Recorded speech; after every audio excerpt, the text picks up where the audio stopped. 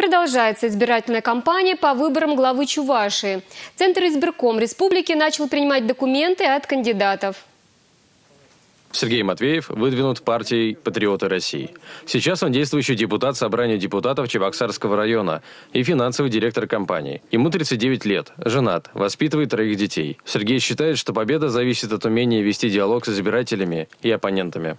Мы намерены вести нашу предвыборную кампанию честно и открыто, встречаться с оппонентами, выслушивать их, э, встречаться с избирателями, также э, выслушивать их вопросы, прислушиваться к их мнению.